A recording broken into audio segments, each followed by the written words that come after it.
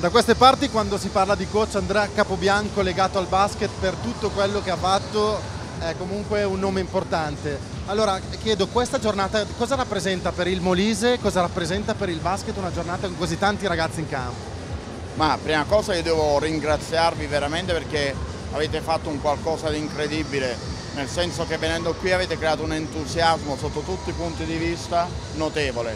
Poi il Comitato regionale Molise ha fatto un lavoro veramente interessante organizzando un torneo di 3x3 con ragazzini con ben 27 squadre, quindi eh, certamente eh, quello che significa grande iniezione di entusiasmo. E sappiamo bene che lo sport ha bisogno di entusiasmo e quindi eh, mi auguro veramente che si sia riusciti ad entusiasmare questi ragazzi.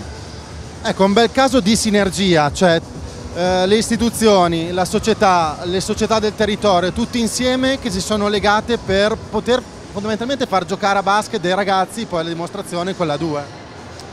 Esatto, come giustamente dici tu, cioè la sinergia tra le varie componenti è fondamentale. Lo sport visto solo come sport eh, staccato da tutto il resto è, è nulla. Lo sport ha grande valenza proprio nel sociale, educativo, quindi è giusto che tutti eh, gli enti, tutte, eh, tutte le componenti che credono nei ragazzi si debbano riunire per cercare appunto di dare un qualcosa a questi ragazzi che meritano tanto e penso che questo sia stato fatto grazie appunto a tutte le componenti a partire da voi. L'ultima cosa, il presidente Stefano Mascio prima ha lanciato il progetto dell'Academy per la Blue Basket.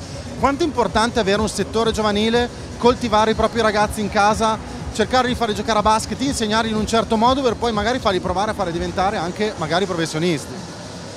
Ma secondo... quanto, scusi, quanto è difficile anche? Ma essere difficile, tutto è difficile secondo me, perché è normale che c'è bisogno di programmazione, c'è bisogno di attenzione, c'è bisogno di saper scegliere persone adatte. Però eh, oggi come oggi eh, penso che una società abbia da una parte il dovere, dall'altra proprio il piacere di far crescere i giovani sappiamo, io sono uno amante dei settori giovanili, ho lavorato sempre in qualsiasi società, sia quando allenavo in C, sia quando allenavo a livelli ancora più bassi, ma anche quando allenavo a livelli più alti, ho sempre puntato molto sui giovani del posto, sui giovani che sono cresciuti nelle società dove sono stato e alla fine penso che qualcosa in cambio ho ricevuto come le attestazioni da questi ragazzi una volta chiamati in campo. Quindi è un grande progetto, un progetto che mi auguro veramente venga, che possa essere apprezzato da tante società e eh, il progetto Academy e mi auguro veramente che si possano vedere sempre più giovani italiani giocare perché hanno dimostrato i giovani italiani di poter fare tanto. Ricordiamo che le nazionali italiane giovanili negli ultimi dieci anni hanno fatto tre mondiali, cosa non da poco, quindi con un secondo posto, quindi veramente eh, penso che si possa fare molto.